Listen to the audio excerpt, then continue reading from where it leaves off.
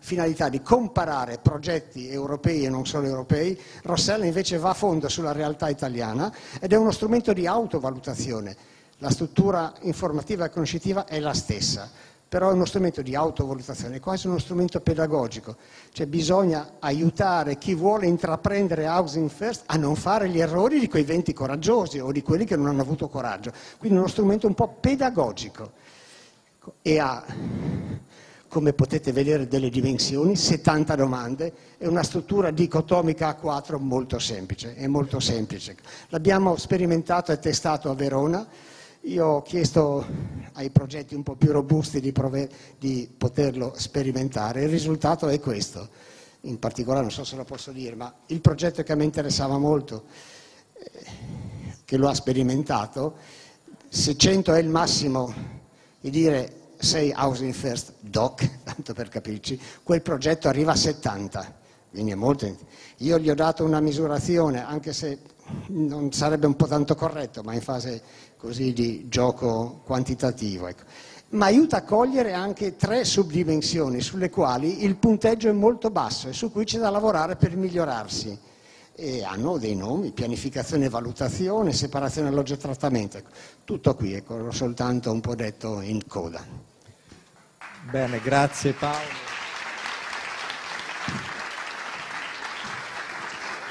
Grazie Paolo. Eh, le realtà che hanno lavorato con il supporto di Paolo e del suo gruppo hanno avuto modo, come capite, di eh, cogliere eh, le dimensioni legate al contesto in cui hanno eh, realizzato il progetto, che cosa eh, all'interno delle stesse organizzazioni e del sistema di lavoro avviene, le persone accolte, quindi è davvero un modo per centrare l'operatività eh, dentro dei confini che possono poi dare elementi di miglioramento ben definiti. E ascoltiamo due realtà che hanno eh, avviato la sperimentazione. Siamo in centro Italia con Bologna, Piazza Grande, Chiara che invito qua a raggiungerci e Matteo Cosenza. Dicevamo che a chi ha avviato la sperimentazione vorremmo chiedere fondamentalmente due cose. Chi te l'ha fatto fare, eh? per dirla in maniera molto semplice e diretta, davvero soprattutto laddove ci sono eh, molti interventi e si può parlare davvero di un sistema integrato e multilivello di servizi alle persone senza dimora, perché Housing First? E poi rispetto anche al lavoro fatto fatto con l'accompagnamento dei gruppi di valutazione, in particolare con questo strumento, quale guadagno no, ha consentito al vostro lavoro poter avere anche questi elementi a supporto del vostro fare, per gentilezza. Eh. Io ricorderei un pezzo importante del net, quindi un applauso. Bologna, Bologna.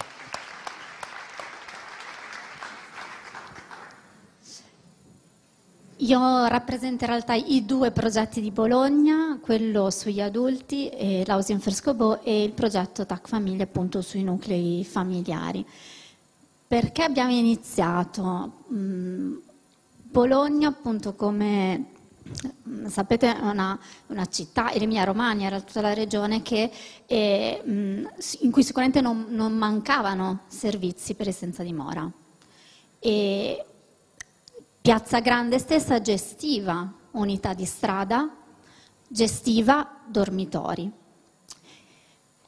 Era in quell'ottica di lavori, di un'accoglienza a gradini, per cui c'è una bassa soglia, un primo livello, un secondo livello di accoglienza, la preautonomia dei gruppi appartamenti e poi per qualcuno l'autonomia, che mettiamo sempre tra virgolette, eh, la parola autonomia.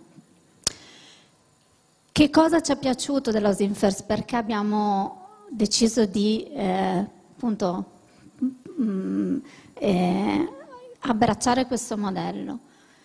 E perché eh, mh, mm, soprattutto per, appunto, per la, la, quella che possiamo chiamare la, la, cultura, cioè il cambiamento di prospettiva.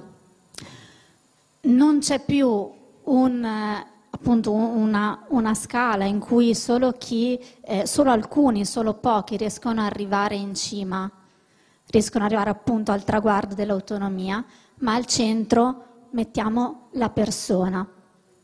Mi ricordo quando Stemberis è venuto a Bologna, appunto ci diceva si parla di housing first, prima la casa, in realtà dovremmo dire al centro la persona ed è proprio così. Nell'housing first la persona è al centro e non è più un, visto come un bisogno, un problema, ma viene accolta nella sua complessità e nella sua totalità, soprattutto come portatore anche di, di risorse e di diritti, come il diritto di scelta, e il diritto alla casa. Quindi questo ci piaceva e questo è passato a Bologna, è passato soprattutto per quello che riguarda gli adulti. Perché abbiamo iniziato con le famiglie? Sarò molto sincera, un po' per caso, perché eh, abbiamo, con la nostra unità di strada abbiamo incontrato delle famiglie in stazione, delle famiglie nei parchi della nostra città. E una povertà a cui non eravamo abituati, con cui non avevamo mai lavorato in precedenza. Stavamo iniziando allora la sperimentazione con gli adulti, ci siamo detti perché non provare anche con le famiglie. Questo secondo progetto è, quello in cui crediamo tanto, ma quello che ha anche più difficoltà, un po' per quello che diceva Paolo prima, perché è una povertà forse ancora più nascosta, la povertà delle famiglie, una zona un po' grigia. E, però è, è, anche un pochino più nuova, però sicuramente è, è un, un è un aspetto che anche le nostre amministrazioni, con cui adesso anche le nostre amministrazioni devono fare i conti. La differenza qual è? Che mentre per quello che sta, almeno per Bologna, investire sull'housing first, eh, oltre a questo cambiamento culturale, ha portato, ehm, ha portato a dei, dei risultati perché persone per cui nessuno avrebbe scommesso che avrebbero potuto reggere in appartamento. E invece sono dentro e stanno facendo il loro percorso. E ha portato anche a un, una prospettiva di lungo periodo, quindi non più breve termine ma lungo periodo, e una diminuzione di quello che era un fenomeno eh, delle revolving door, cioè le entrate e uscite eh, che si ripetono dalle strutture, quindi la stessa persona che continua a strada, dormitorio, dormitorio, strada, eh, strada, dormitorio, comunità di accoglienza, strada, dormitorio.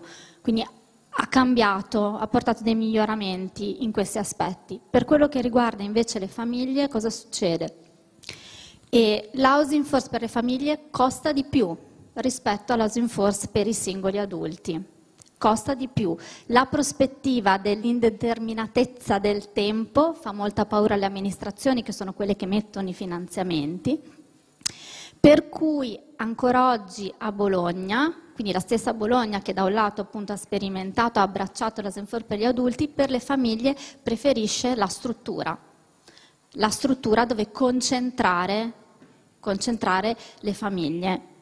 E mentre sugli appartamenti, noi lavoriamo anche sugli appartamenti, però su Bologna non abbiamo più, ci, è venuto a mancare appunto il pezzo dei finanziamenti. Quindi su Bologna noi stiamo continuando, non abbiamo il supporto dell'amministrazione comunale, l'abbiamo eh, in provincia, quindi il nostro progetto si, si, è diffuso comunque nella provincia di Bologna, in cui c'è una coprogettazione con alcuni, con alcuni comuni. Matteo. Salve a tutti, io sono Matteo e sono socio di una piccolissima cooperativa di Cosenza che si chiama Strade di Casa. E, ehm, nel 2012 Strade di Casa ha uh, implementato un servizio di uh, unità di strada per persone senza dimora, proprio come Bologna più o meno.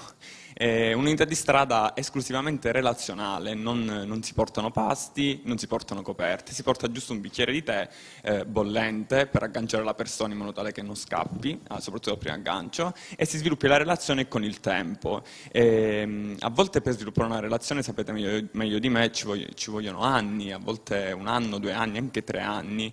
E nel 2014 è nato il network eh, Housing First Italia, eh, quale migliore illuminazione un'occasione per provare a fare qualcosa per le persone che vivevano la strada nel nostro contesto urbano dell'Interland di Cosenza e Rende. E noi ehm, abbiamo fatto subito parte del network e eh, abbiamo provato a coinvolgere gli enti pubblici Purtroppo nella nostra realtà, ma come anche Bologna, non abbiamo eh, potuto accedere a dei fondi pubblici. Eh, I comuni eh, ci hanno fatto un grande in bocca al lupo, eh, sono stati contenti dell'iniziativa, forza e coraggio, che dopo aprile viene maggio, ehm, e allora noi abbiamo cominciato a ragionare su eh, come poter attuare dei percorsi di, di housing first, ovvero una progettualità di questo tipo. Continuando a frequentare le persone in strada, ci siamo accorti che eh, si poteva fare un lavoro di advocacy molto forte, specialmente con le persone che potevano eh, accedere a, ad alcune prestazioni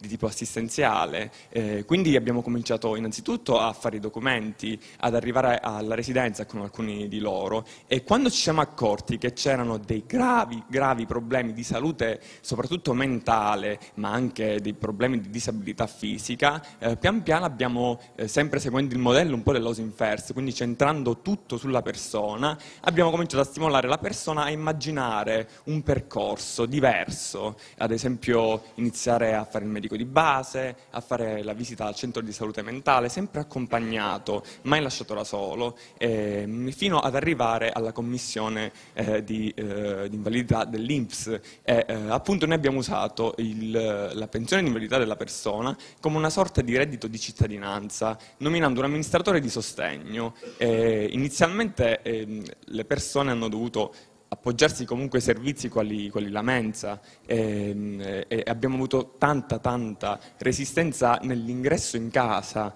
a volte sono passati cinque mesi o sei mesi prima che la persona accettasse di non essere più invisibile. Questo forse è stato lo scoglio più grosso, far capire alla persona che non aveva più quello status, che non era più invisibile e che la sua vita era, era, troppo importante e abbiamo dovuto fare una sorta di, di risveglio della, della, coscienza attiva della persona. La persona era di nuovo in gioco, aveva di nuovo in mano la sua vita e pian piano eh, questi percorsi hanno preso, hanno preso atto. Ecco.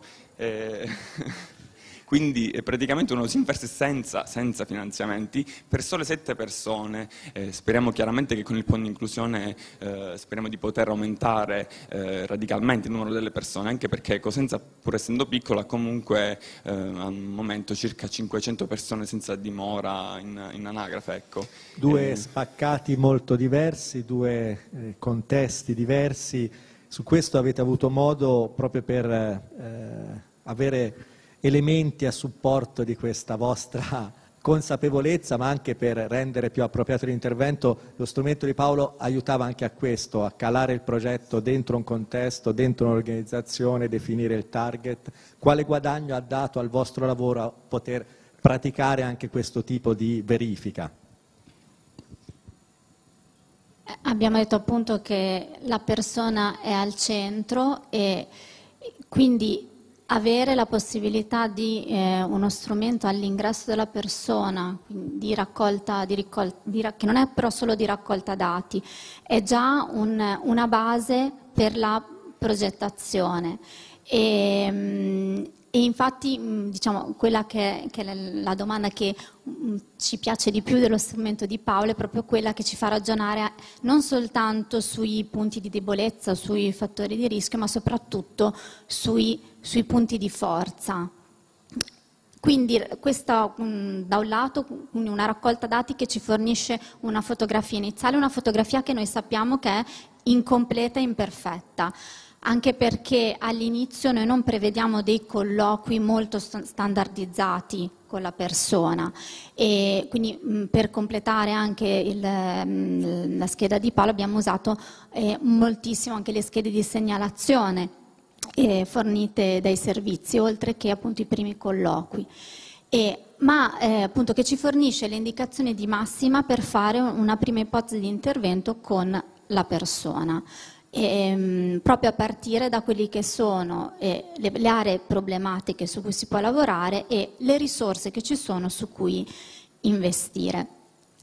E quello che eh, ci piacerebbe è eh, avere una, una restituzione di questi, di questi dati con statistiche per, per avere proprio un'immagine del, pro, del progetto nel, nel, suo complesso e soprattutto integrare poi questo strumento con gli altri strumenti eh, che si stanno utilizzando, eh, quindi Osvaldo, quindi il questionario di Santinello e, e l'onda del cambiamento, che invece è uno strumento dinamico.